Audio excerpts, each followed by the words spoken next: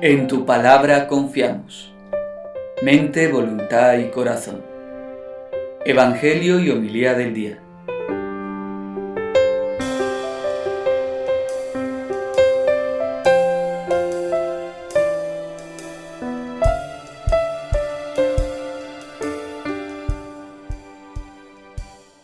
El Señor esté con vosotros.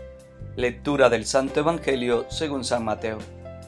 En aquel tiempo dijo Jesús a sus discípulos, Habéis oído que se dijo a los antiguos, No jurarás en falso, y cumplirás tus votos al Señor. Pues yo os digo que no juraréis en absoluto, ni por el cielo, que es el trono de Dios, ni por la tierra, que es estrado de sus pies, ni por Jerusalén, que es la ciudad del gran rey. Ni jures por tu cabeza, pues no puedes volver blanco o negro un solo pelo. A vosotros os basta decir sí o no. Lo que pasa de ahí viene del maligno. Palabra del Señor.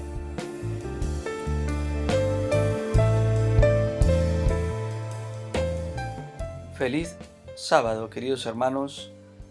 Hoy el Evangelio nos advierte sobre la manipulación de quienes utilizan el nombre de Dios para hacer prevalecer su voluntad. Observamos el descontento generalizado y la desconfianza que generan ciertos liderazgos políticos, religiosos y de otros ámbitos, no solo por su falta de coherencia, sino porque, valiéndose de su posición, traicionan a quienes han depositado en ellos su confianza. Si Jesús invita a no jurar en absoluto, en absoluto es porque quiere comunidades creyentes que viviendo en la verdad construyan relaciones que humanicen y liberen. Un seguidor de Jesús nunca impone, más bien dialoga y se posiciona con un sí, siempre a favor de la vida y de todo lo que haga prevalecer el bien común.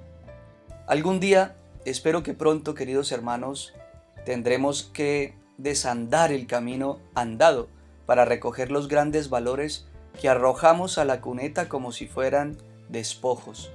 Una de las grandes pérdidas de esta generación loca es la veracidad.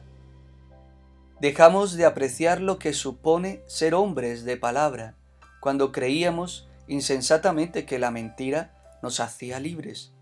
Así entregamos las almas de nuestros hijos al padre de la mentira. Hoy día, si una persona afirma ser hombre de palabra, será tomado por tonto o por ingenuo.